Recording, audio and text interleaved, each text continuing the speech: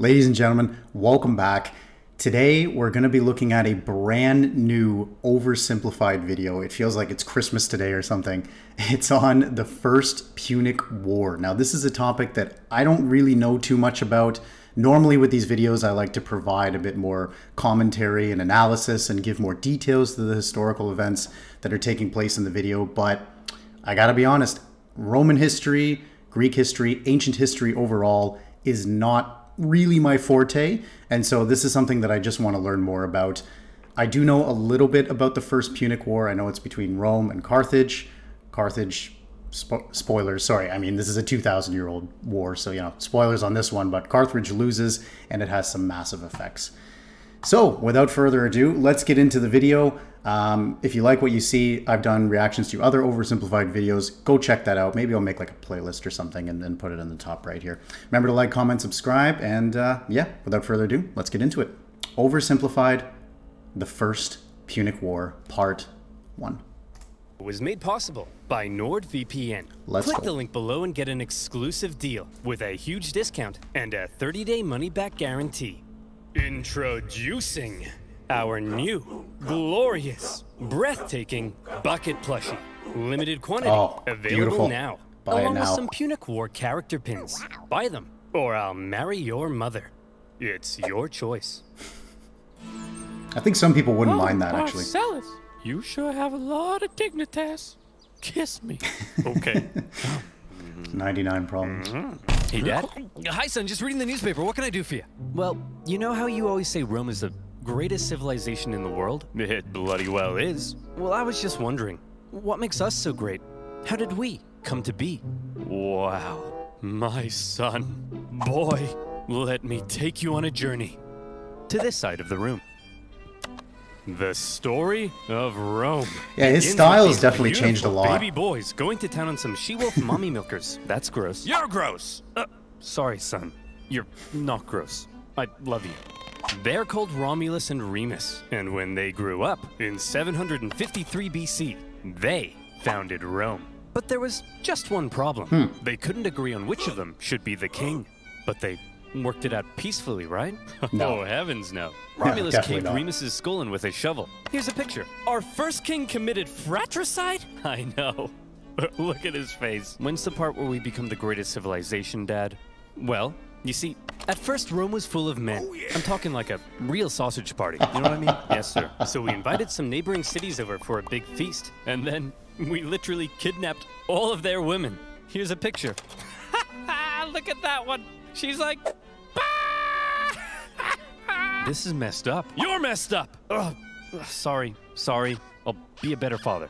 I promise. So then, finally, after centuries. Yeah, and so just one thing I want to comment on is like, even though it's kind of taken for laughs now, like so much, the more you read about history, and like I said, I'm more on the 20th century and 19th century one, but man, the amount of human suffering that has gone on throughout all of history and just the absolutely brutal events that happened. Uh, I mean, yeah, there's really no better time to live in than right now. Uh, safe to say that overall. But uh, wow, let's keep going. centuries of monarchy, those tyrannical kings started getting a little too big for their britches. So we overthrew the kings and established Rome as a republic.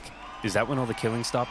Oh, heavens No. no. That's when the killing surged, baby. We went wild and conquered the Latin League, the Samnites, the Etruscans. Woo! What a rush! Dad, Rome seems pretty barbaric. You're barbaric! Oh, I forgot to tell you about the time a prophet told Saturn his son would one day overthrow him. So, so Saturn literally ate his own son seconds after he was born. I don't want to see a picture. Here's a picture. Dad, look at that. Oh, That's messed up, man. That's what that is. Huh? I'd seen that. Fo- I'd seen that painting before, like quite a few times actually on the internet. I didn't know that that's what that was. So it's Saturn eating his own son. Huh. Huh. That was a that was a big moment for me. Sorry, I just kind of connected the dots on that one. I'm sure you've maybe seen that painting before, but I didn't know that that's what that was. Cool. Man, are we really this uncivilized? Hey, hey! If we were so uncivilized, would we use communal toilets where we all fart and poo together in one big stinky, steamy, dirty toilet room? Yeah, Dad. We would! Clean your butt with a sponge, Timulus! But all these guys just used it. What's wrong with your son, bro? I don't want to be Roman. This is so weird. You're weird! Ugh, sorry, you're Oh not weird. God. I'm sure you're probably fine.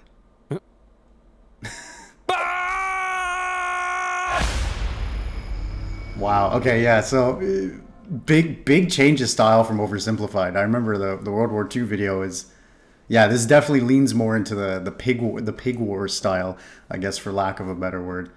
Cool. Uh, so, so one thing I do want to comment on is that I know I think Rome had the first ever sewer system in in civilization. Um, in regards to the room. Yeah. Okay. Enough said. The Roman Republic. A nation that, since its foundation, had been stabbing necks all the way down the Italian peninsula. But this isn't the famous Roman Empire that ruled the known world. Not yet, anyway. This is a relatively juvenile Rome, still just a regional power. In 264 BC, the big daddy of the Western Mediterranean Yes. was Carthage. Let's rewind a bit. Carthage was founded in 814 BC when some Phoenicians in Tyre had a mega surplus of goods and decided to export those goods across the Mediterranean. They became the dominant trading power in the region, and to support their growing trade network, the Phoenicians established a number of colonies, one of which was Carthage. Therefore, Carthage began its life as a Phoenician trade colony, and the Carthaginians were actually Phoenicians. Or, if you're a Latin speaking Roman, they were Punic, hence the name of the video. Ah. Over the centuries, Carthage gradually expanded and became the region's base of power. Just like Rome, Carthage was a semi democratic republic with its own senate and judiciary. But there were also some pretty hefty differences between the two. While Rome was big into farming and stabbing people in the neck, the Carthaginians, on the other hand, just like their Phoenician forefathers, had built their power through trade and navigating the waves. Hmm. They went here and there, selling ivory tusks, gold, and slaves. And as a result, they were rolling in it. Whenever they weren't busy swimming around in their copious hoards of money, in their spare time, they also possibly enjoyed sacrificing their children to Baal, the god of. Let me just check my notes. Ah, yes. Plant fertility. Oh boy, these figs aren't looking too hot. Maybe if I throw my son into a burning pit of fire, they'll grow. Have you tried watering them, Dad? Hmm. Hmm. No, we'll One of try the that two. second. As a result of all their trading, Carthage had emerged as one of the Mediterranean's superpowers. But wait, they said. Rome? What the heck is that? Well, I know it's a pretty obscure little country that you've probably never heard of. But this spunky young nation was about to upset the entire region's balance of power. Initially, the two Yeah, and funny how now modernly most people have heard of Rome. I think that's probably a pretty common thing. I mean, the, the city exists still to this day, um, obviously, but I think more people know about the Roman Empire and sort of the, the foundations of civilization, so to say, with Rome. But I, I don't think many people have heard of Carthage.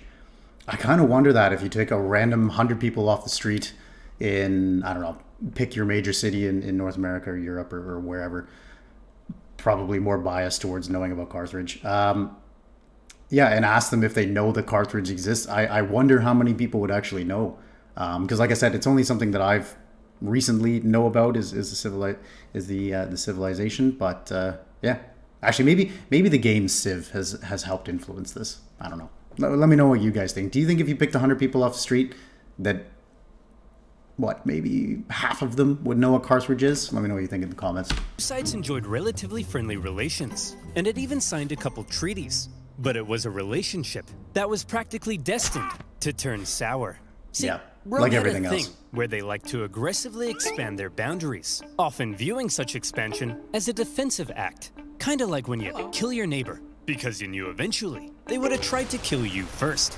Meanwhile, Carthage was a I wonder if like was there some sort of manifest sort of manifest destiny type document or you know idea with Rome's expansion or was this just expansion for the sake of expansion right or was there some some sort of you know untold like uh, prophecy will I don't know something like this that really push this level of expansionism I don't know maybe you guys can let me know in the comment section below as my cord goes flying extremely protective of its wealthy trade network.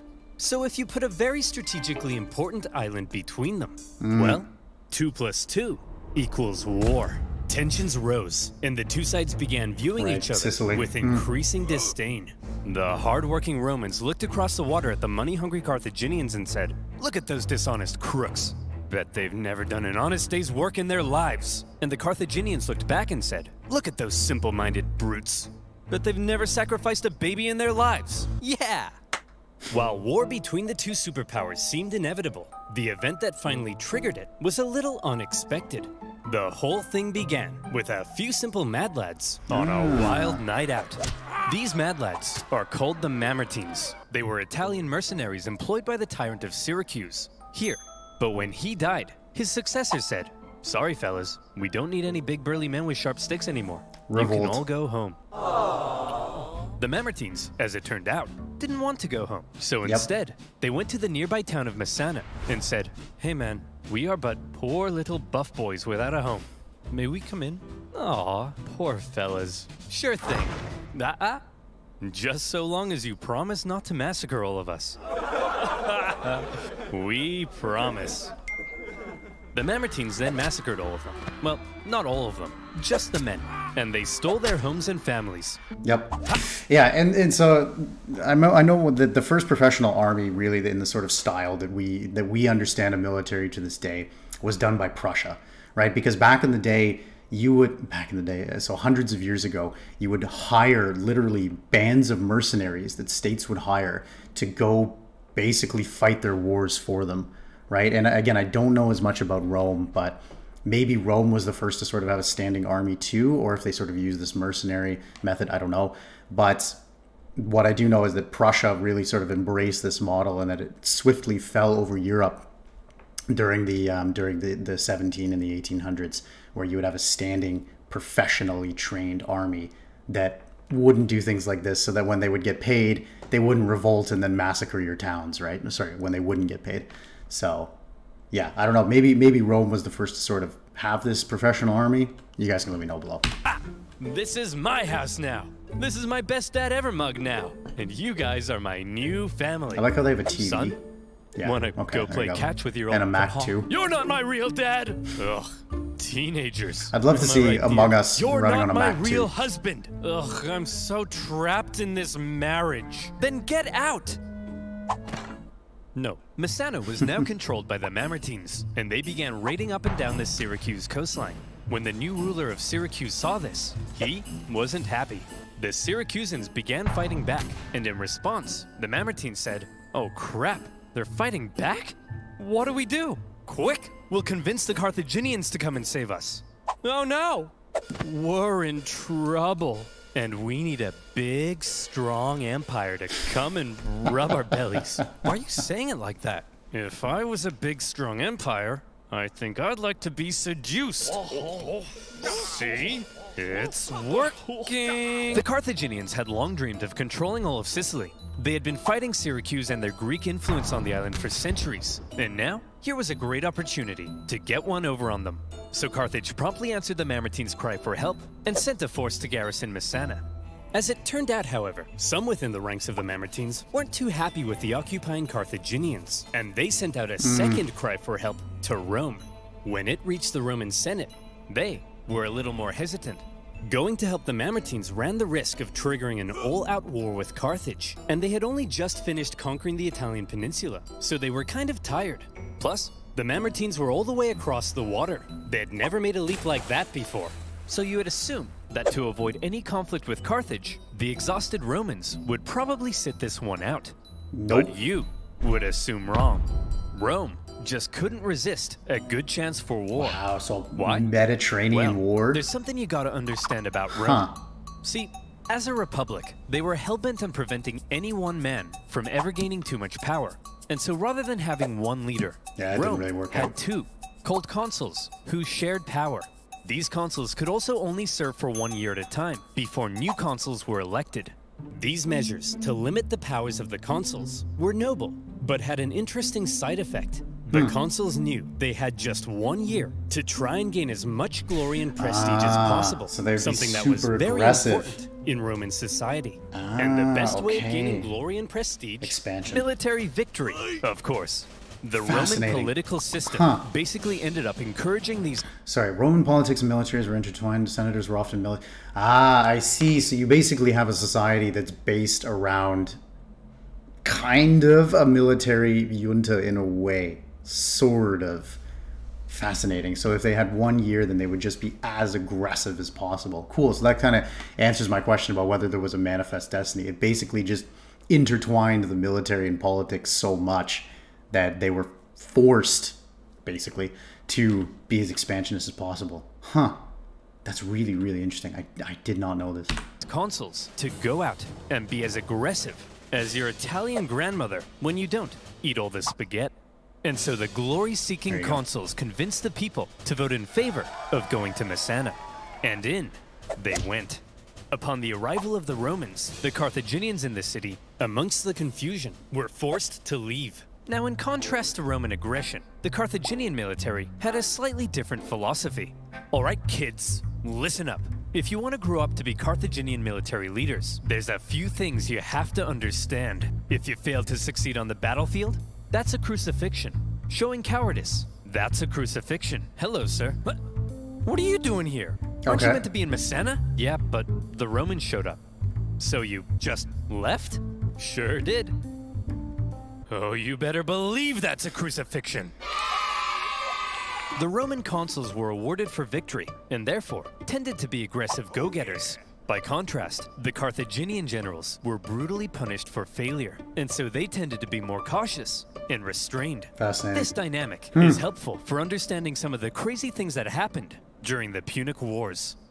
So, the Romans have Huh, so when you have a system, right, in the Roman case where it rewards expansionism, and then you have a, a, time limit in place for one year for be able for people to be able to go grab this glory and prestige, kind of reminds me of the what is it, uh, fail fast and break stuff or whatever the hell that motto for for Facebook was, where you got to do things really really quickly, and the more aggressive you are, the more you'll be rewarded. So that really makes a lot of sense of how the Roman Empire was able to expand. So I know it's probably way more complicated than this, but when you have that sort of underlying structure of aggression, that's how you can expand an empire so much. And and who knows, maybe I'm completely wrong, but this is just my my my my reaction to uh, to watching this here.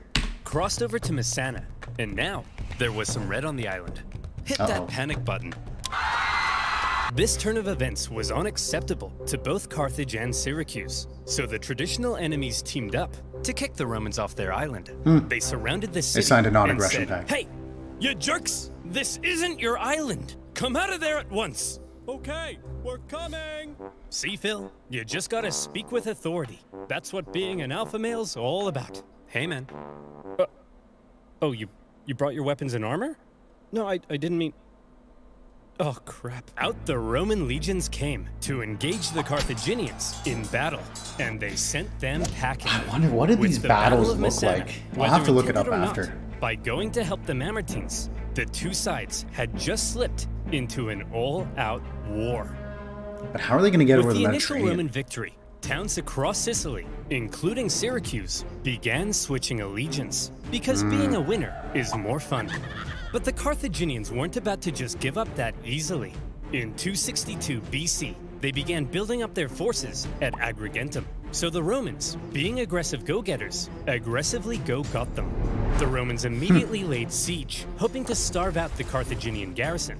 However, because this was the first time Rome had been fighting outside the Italian peninsula, across the water, they struggled to supply their forces. Yeah. And before long, the Romans were as starving as the Carthaginians they were besieging. They had to forage for food, leaving them open to ambush. And when Carthaginian reinforcements arrived, creating a double siege, things Oh. got really bad.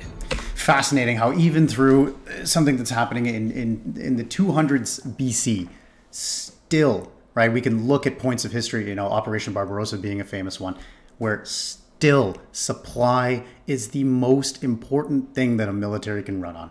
Right, as much as people love to talk about, oh, you know, again, only using the 20th century example, you know, this tank and this aircraft and this magical piece of machinery and this and whatever, this amazing technological advancement, it doesn't matter if you don't have good morale and good supply.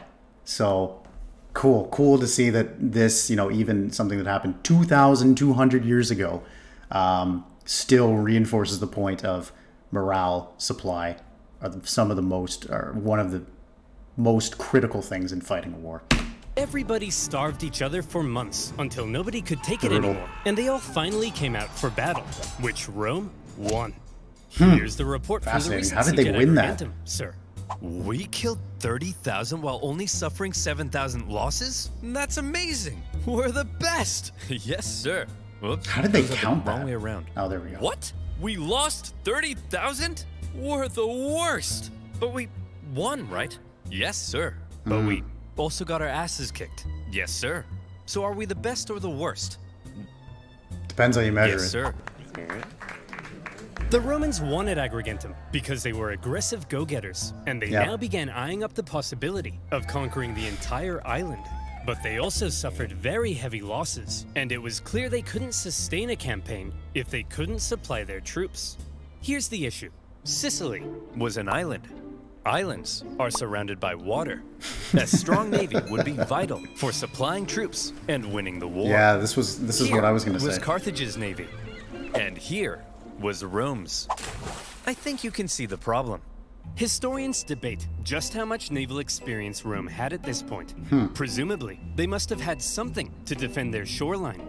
But whatever it was, it would have paled in comparison to the Right. Carthaginian juggernaut. And so Rome had to figure out exactly what to do about all this water. How are they Come on, men. This? We're not gonna let some pansy candy ass water get in the way of our glorious victory against Carthage. Charge! Tell my kids I love them. We're gonna need a bigger boat. Nice. What's a boat? I don't know. if the Romans wanted to win this war and obtain Solid Jaws Sicily, reference. there was only one thing for them to do. Uh, I guess we're just gonna have to go ahead and build ourselves a war fleet, aren't we? From scratch? Whoa, From scratch. really? Well, we don't even know how. Never mind how to fight with one. Don't worry, Hank. We're up to the challenge. Come on, guys. We're Romans, and Romans aren't afraid of anything. And so, the Romans worked long and hard trying to figure out how on earth you actually build the latest style of warship. In the end, they had a bit of luck on their side. a Carthaginian quinquereme ended up accidentally grounding on Italian soil. The Romans found it and copied the design. While Yeah. the new fleet was being built, the Romans trained rowers on land. And would you believe it? The Romans put together a full fighting fleet of 120 warships in just two months. A What? staggering feat. Oh my, 120 warships in two months. Wow. That is, that is incredibly impressive. Oh my god. Now, I know what Wow. you're thinking, but oversimplified. If the Romans can build a war fleet from scratch in two months, then Really why does good it take production you methods. half a year to make a video? well, my valued Nice. subscriber, Nice. I think you should shut up. What the heck? How Nice. on earth did the Romans learn how to build waiting for the war fleet? oversimplified this Vietnam War, by the shouldn't be happening. From what I hear, they copied the design from us, sir. Well, how on earth did they get the blueprint, Carl? I, I don't know, sir. But I'll tell you what. If you're worried about people stealing your data, no, Nice. and you want to protect Nice. yourself from outside threats, don't you dare. Then you, my friend, if you mention NordVPN, I'll scream. Should use NordVPN. Do you like corporations knowing everything about you and then selling your data to advertisers who convince you to buy things you don't need in Nice. an endless cycle over and over until you die? Me neither. And that's why I, Get NordVPN, you'll ladies and gentlemen. supporting my channel. And So support you. Oversimplified. Now, where were we? Oh, yeah. The siege at Agrigentum, supply issues, and building a war fleet. So now the Romans have a navy, and it's time to put it to the test. But how does one wage ancient naval warfare? Easy. All of the ships had giant bronze rams on the front, so mm-hmm. all you had to do was outmaneuver the enemy and give him the jimmies. Easy Huh. as pie. like and that- so the aggressive Romans set out for some good old-fashioned jimmy giving. Reminds me of that, that snake game, like something.io, snake.io or something, where you have to go around and I don't know. Okay. The consul, Gnaeus Cornelius Scipio, set out for the town of Lipara. Believing the garrison there wanted to join the Romans. As he entered the harbor, however, he found himself trapped by a Carthaginian fleet, and in the following skirmish, he was completely outmatched. The Romans may have had a brand new fleet, but when it came to engaging in They actual must have used, like, combat, bow and their arrows or inexperience no? showed. There was just something better about the Carthaginian ships. The Carthaginian rowers had nicer abs. The entire Carthaginian Empire had been built on expert seamanship. So, when it came to water, the Carthaginians were better, and the Romans were wetter. In their initial skirmish, the Romans were beaten so badly that the consul, Scipio, was given a nickname, Asina. And if you're wondering what that means, just drop the Ina. So, what were the Romans to do? How could they possibly stand up to this Carthaginian superpower? Well, there's something you gotta understand about the Romans. Back when they found that Okay. Carthaginian ship and copied its design, that wasn't a one off thing. Copying their enemies was as Roman as punishing murderers by sewing them into a leather pouch with a monkey, snake, and rooster, and then throwing them into a river, which is a thing they did. Wait, what was I talking about? Oh, yeah. Copying their enemies. Many That's of the most famous Roman inventions were actually borrowed. Aqueducts, chariot racing, their gods. Even in warfare, the Romans would get pierced by a Sabine javelin, and they'd be like, wow. They'd get hacked to bits by an Iberian sword, and they'd be like, wow. And they'd copy the designs for themselves. You know what they say? Good artists borrow, great artists steal. I guess that's sort of the same same phenomenon here. However, they wouldn't just copy it. They would advance it, finding ways to adapt it as perfectly as possible. And in That's the case cool. of naval warfare, the Romans realized if they wanted to beat the Carthaginians at their own game, they would have to adapt. The Romans excelled at combat on land, not on water. But what if, they said, we could somehow turn a sea battle into a land battle? Hmm. Sounds crazy, right? Well, they made a couple of tweaks to their warship, and look, here they come again. They must love getting their asses kicked. Uh, sir? What's that toll thing sticking out of their ships? No, really. They really then they board the ships. Look at that thing. That, that'll make them blow over. I mean, look at. Bob, Wow. Bob, get, get your camera out. Take a picture of it.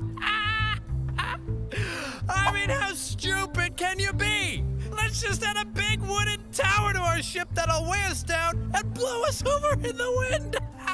I mean, what does that thing even do?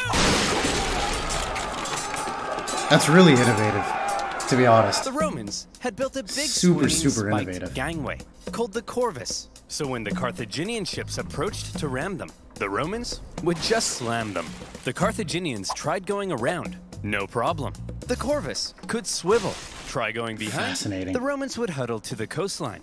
It was foolproof. Those ah. big, sexy Carthaginian rowing muscles could flex all they want, but they were no match for the Roman mind. So, ladies, That's brilliant. You see, Really what brilliant. really matters is what's on the inside. Please go out with me. And with that, the Romans, who had only just recently began dabbling in the art of naval combat, thanks to their ingenious Corvus, had just managed to outclass the Mediterranean seafaring superpower. The Carthaginians were stunned, and the general in charge of the defeated Carthaginian fleet, well, you better believe that's a crucifixion. So With their- such ah, so You found control of the seas. The Romans could now more easily blockade coastal cities and supply their legions on land. You gotta think, what if they didn't do that. The? Romans were now free to unleash their aggression all over the island. Haha! Hey, Carthaginians, what are you gonna do now that we're free to rampage across the island? We're gonna go inside these walls and close this gate. Oh, come on, guys. Stop messing around. Come out so we can kill you. No. Oh, come on. No. Oh, no. To counter the new Roman supremacy, the Carthaginians decided to engage in a defensive war of attrition, forcing the hmm. Romans to engage in siege after lengthy siege. The war in Sicily became a long, hard, back and forth slug.